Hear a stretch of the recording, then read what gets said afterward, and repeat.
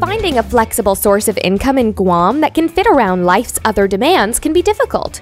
Not only that, but very few jobs will also let you be your own boss, where you can choose when to work and for how long. Until now. Stroll is a great way to earn money by driving people around Guam on your own schedule. If you're aged at least 21 and have a car built in 2005 or later, then you can apply to become a Stroll driver.